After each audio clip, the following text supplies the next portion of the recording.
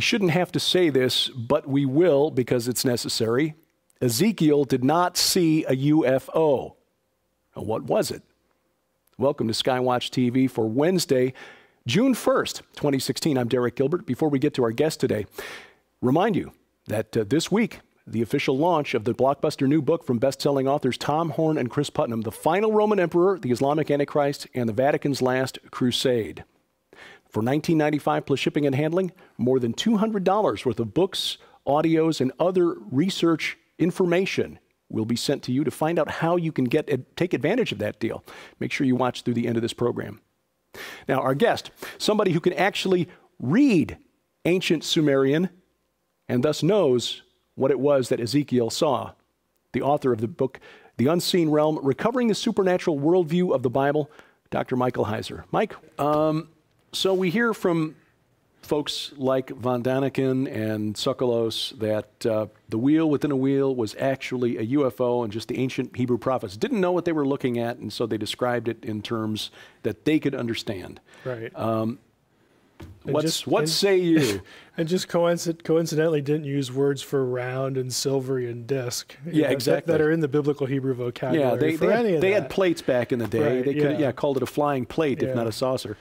Yeah, I, again, I, I, think this is a good example of uh, not only ancient astronaut nonsense, but also just ancient astronaut um, sort of lack of investigative ability or even interest. Because this is an example, even though it gets trucked out so often, this is actually a, an example of you can find what Ezekiel was actually talking about. We have and I like to say the Polaroids of the day, and that is statuary, iconography of all of the elements that you find in Ezekiel 1. I've blogged about this before on, on my Paleobabble blog and a few other places, and I invariably get asked this on shows like Coast to Coast AM. People are convinced, you know, that this is a UFO, and again, I don't know what you can really say to someone who's a committed believer in that other than go look at the evidence, mm-hmm. but the evidence is actually there. And we know what Ezekiel was looking at. We have all the elements in the artwork of the day. And it wasn't a flying saucer. To me, it's actually something more interesting. Hmm. Now, I've talked with Josh Peck about this as we discussed his book, Cherubim Chariots.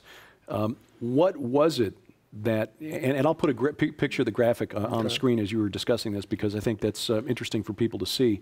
Um, what why is it that, that the ancient Near Eastern people would have known what Ezekiel was describing? I mean, what, what sort of cultural mm-hmm. imagery was he drawing upon that would have been common to all of them? Yeah. And, and, why do you find it even more interesting than it being a UFO? I mean, what could be more interesting than that? well, I, th- I, think I think biblical theology is more interesting than UFO. no, it would have been familiar to people because the the iconography used in Ezekiel one is familiar with familiar to the average person because it's associated with royalty.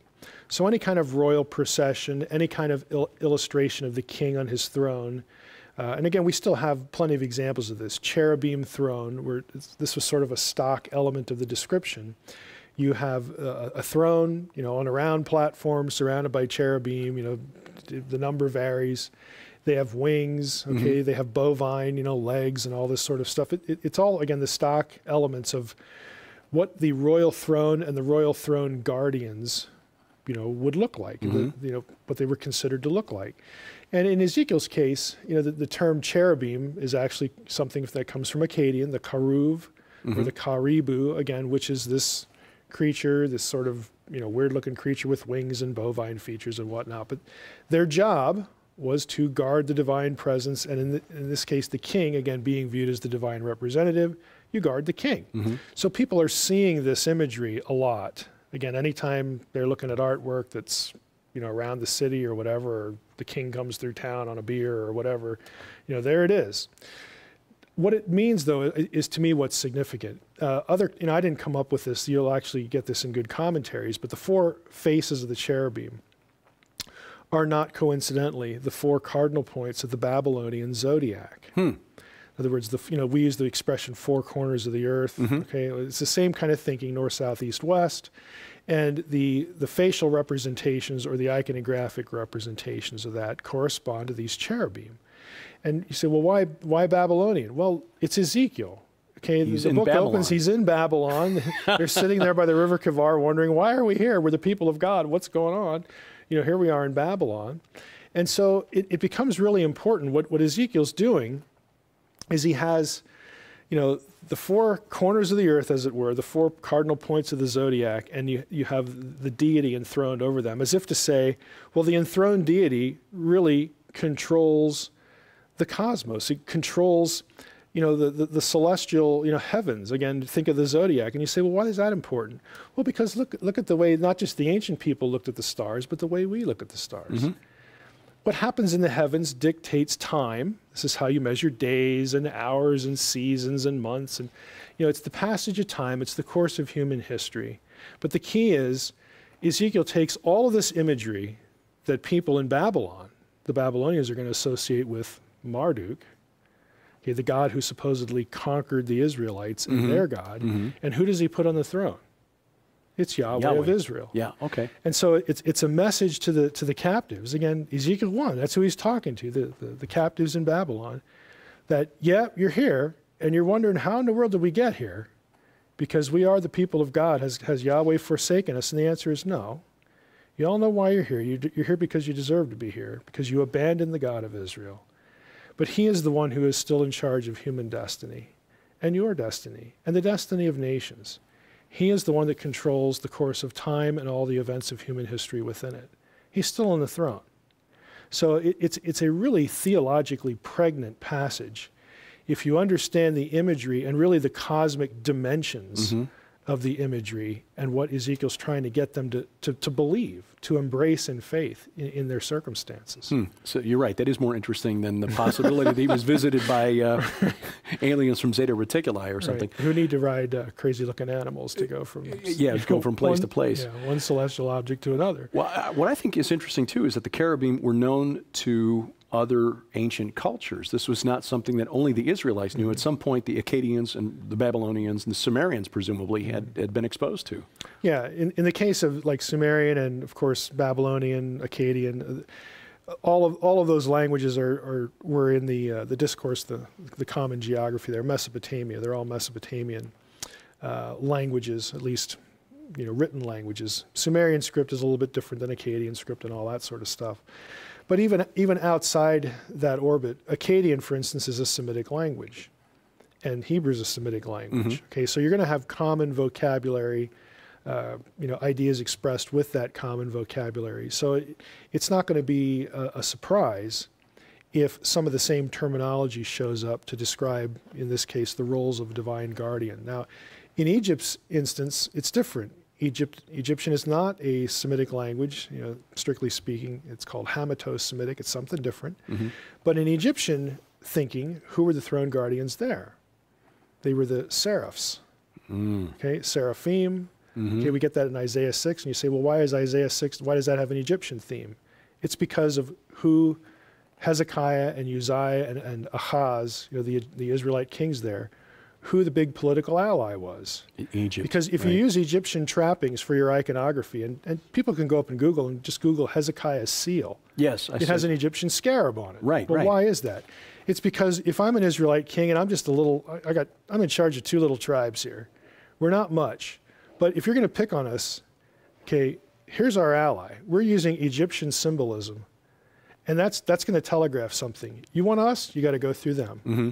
Because we're buddies. Now, God, the prophets say, don't do this. Right, Egypt is a reed that breaks, Right. know, uh, Don't cuts the hand of those this. who lean on it. Right. But politically, that's what they're, you know, that, that's what they're telegraphing. That's what they're doing. And, and again, the prophets are trying to, to get them to trust God instead. But this is just historically where they were at, and it gets reflected in the in the text. Hmm. Again, so E- Ezekiel just using imagery that would have been familiar to the people who were reading it in the time that In he that was writing it. yep, so i- Babylon. instead of us in the 21st century trying to impose our Right. Western scientific worldview onto Sure. the ancient text.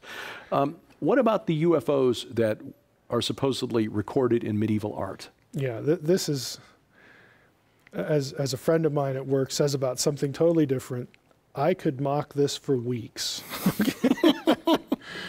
and, and honestly, I, I could, but it, it's really not because of, of any work that I've done. Uh, there are no UFOs in medieval art. If don't take Mike's word for it, I'm going to give you this guy's name, Diego Cuoghi. C U O G H I. Now, I have links to his work on my website and on my blog. He is an art historian. And he has a whole website. Most of it's in English. He's translated it into English. Some of it's in Portuguese. But the bulk of it is in English. And he has dozens and dozens and dozens of examples of the kinds of things that get you know put off on the public as UFOs and medieval art, mm-hmm. and he even has the, the ones that people use under greater magnification, and they're just things like rings of angels, hmm. or in one case the, the, the saucer is actually Jerome's hat. okay, that shows up in, in dozens and even hundreds of paintings. It was an artistic little, you know, motif that was again designed to communicate certain ideas. So if you're living in the Renaissance, well, you know what that is.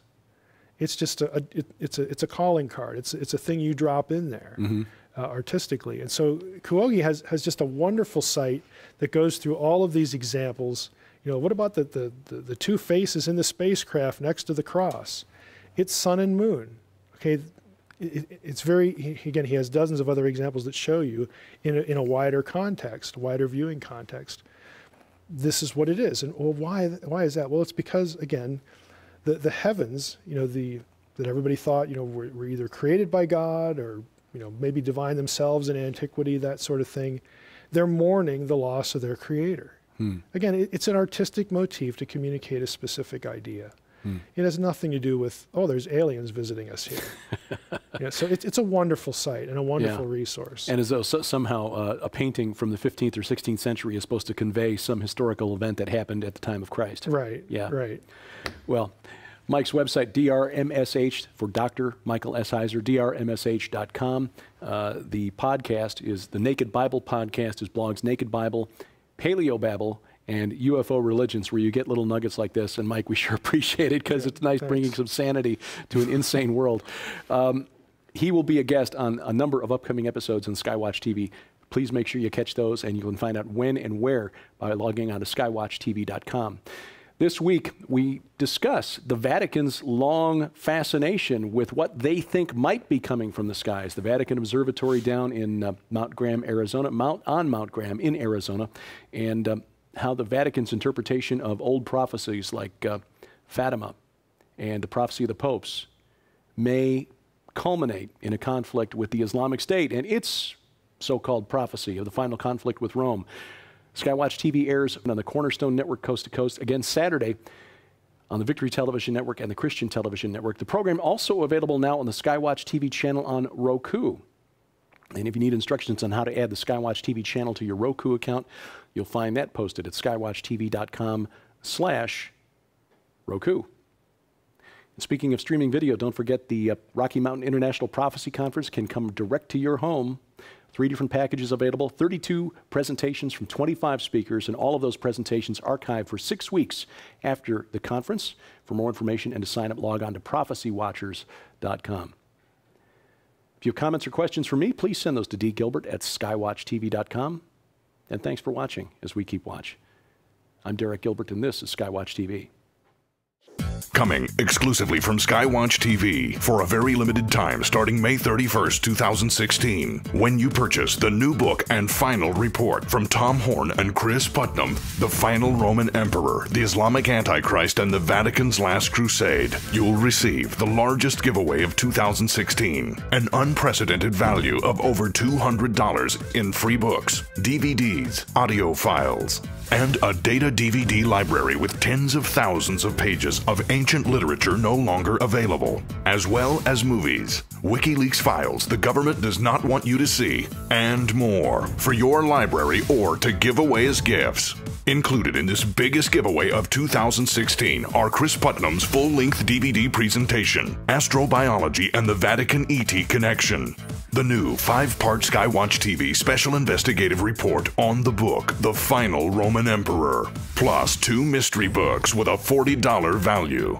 and a data DVD library with thousands of pages of ancient literature, movies, and audio series for your library or to give away as gifts.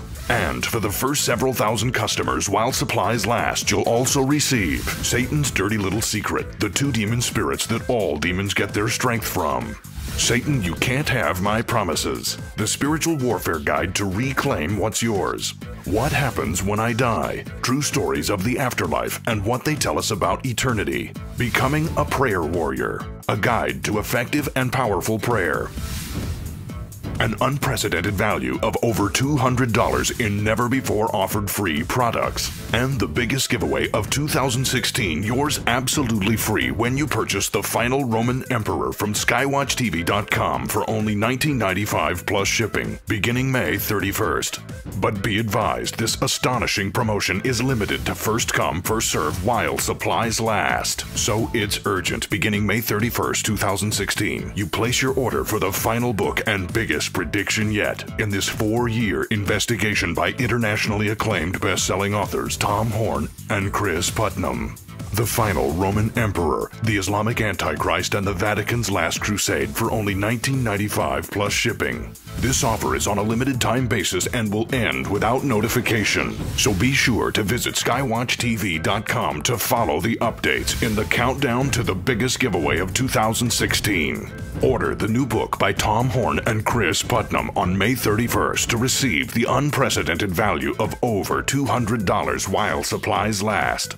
Free products limited to quantity on hand and may be replaced by products of equal value.